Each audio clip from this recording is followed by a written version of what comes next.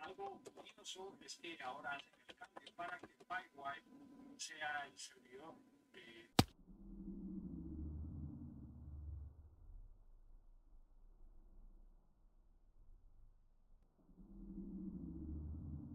por default del 2021. Bueno, vienen muchos cambios, nos comenta que el kernel manejado eh, va a seguir siendo el que, el que se vaya a caso ya Canonical eh, pues ha comentado que la 2404 llegará con un kernel 6.1.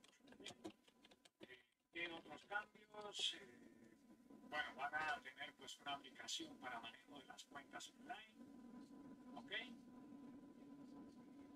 Otra noticia que seguramente a muchos les va a caer bastante bien, a muchos les va a agradar esta noticia y es que Canonical ha tomado la decisión de que en la futura 2404 el cliente de email Thunderbird, que es el cliente por